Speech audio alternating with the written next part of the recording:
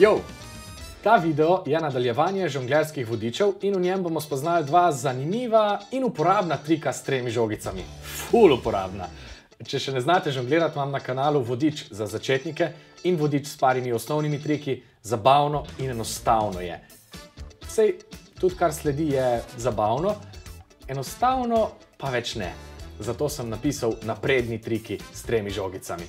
V tem sklopu vam predstavljam tuš,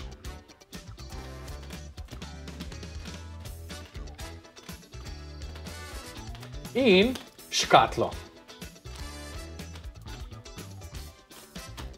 Tuš je trik, ki ga imamo že v podzavesti iz risank. Tudi zato je ponovad prvi poskus žongliranja za marsikoga zgledal takole. Nekak, to je neuspešno izpeljan tuš. Pravilen tuš zgleda tako.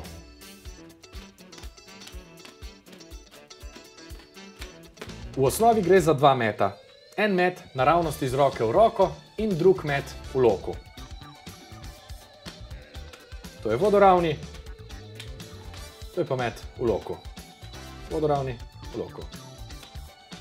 Dajmo najprej izvaditi tega vodoravnega.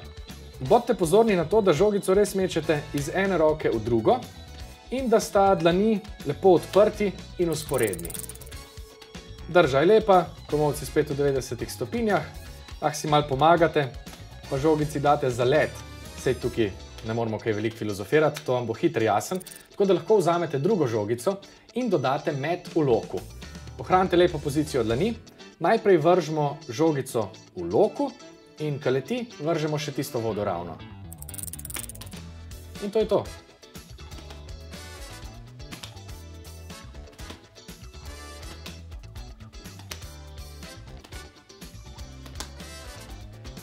A vam gre to? Zadevo si bomo zakomplicirali tako, da bomo drugo žogco vrgli čim pozneje. Tok pozen, da bomo na koncu ujeli obe istočasno. Dobro poslušajte, sej to se tudi sliši. Vržem eno žogico in potem ujamem obe hkrati.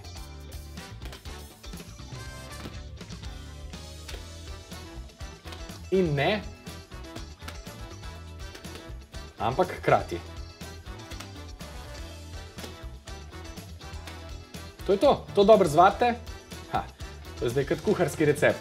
Pustimo ležati vsaj en dan. In ko imamo to pod kapo, dodamo tretjo žogico. Sam, kdaj jo vržemo? Dobro vprašanje.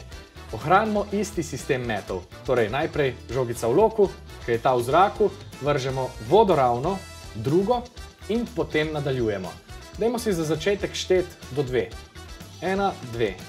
Ena, dve ena, dve. Ok, super. Če dodamo tretjo žogico, lahko štetje počasi podaljšujemo. Bodite pozorni na dlani roke in na razdaljo. Začnimo z dvema žogicama v naši dominantni roki in z metom v loku. Ena, dve. Ena, dve. Ena, dve. Ko vržemo prvo žogico v loku, ki je ta na najvišji točki, na trenutku, ko bi želeli vršiti drugo, je roka, ki bi jo morala sprejeti, zasedena. Zato vržemo tudi tisto istočasno. To je naše prvo štetje do dve s tremi žogicami. Ena, dve. Obla. Ena, dve. Ena, dve. Ena, dve.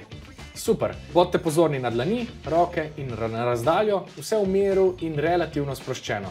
To je naš osnovni princip, zdaj pa mu dodajajmo mete in smo zmagali. Gremo najprej recimo do tri ena, dve, tri. Ena, dve, tri. Ena, dve, tri. Štiri, pet, šest in tako naprej. Spravi, en, dve, tri, štiri, pet, šest. En, dve, tri, štiri, pet, šest, sedem, osem, da, da, in v neskončnost. Vzemite si čas, če se vam kje zatakne, pa se vrnite na osnovni princip in prve vaje, kot ponavadi. Bodite pozorni na to, da ne boste na koncu čisto zakrčeni in da ohranjate sproščena ramena. Kako lahko zdaj to še malo zakompliciramo? Lahko se tuš naučite metati v obe smeri, to je kar zahtevno. Se pravi, v eno smer in opala, drugo.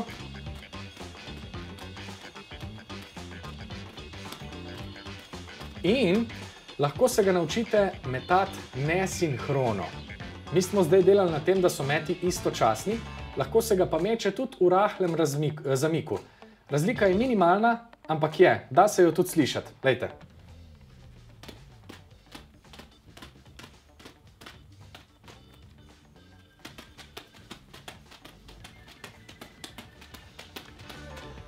Tako, um, jaz bi vseeno rad, da zdaj ostanete na sinhroni verziji trika, ker nas ta lepo pelje do nadaljevanja. To je pa škatla oziroma box.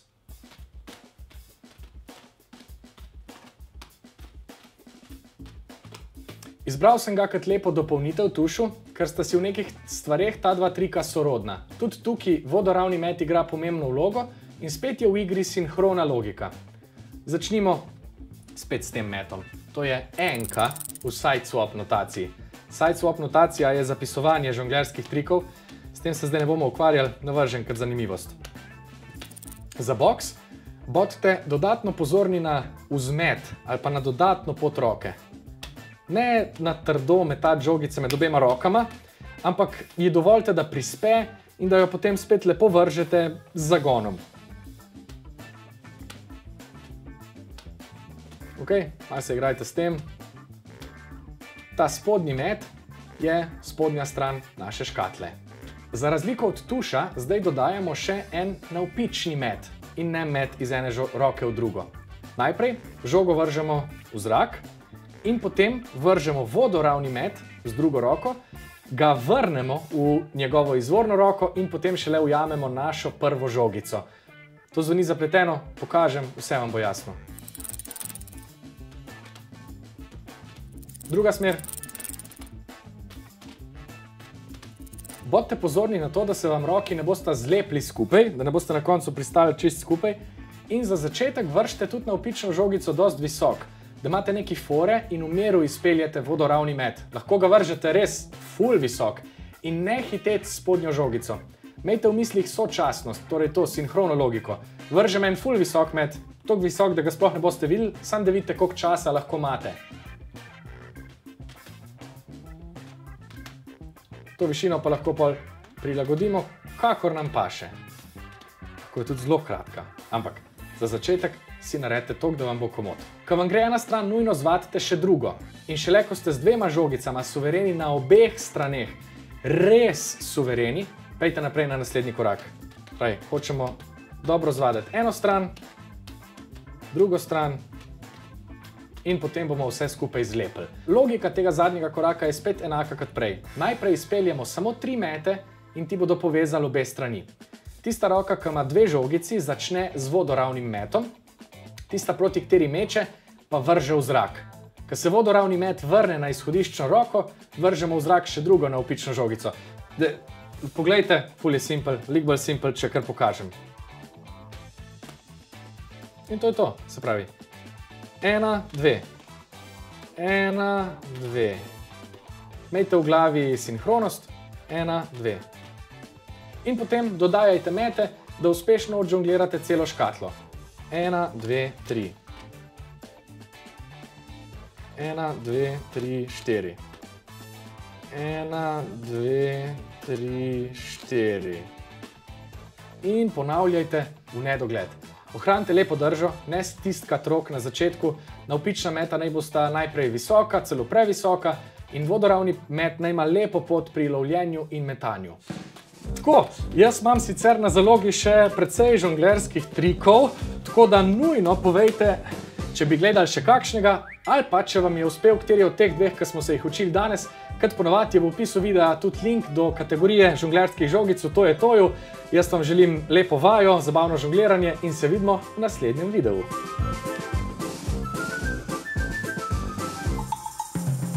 Ja.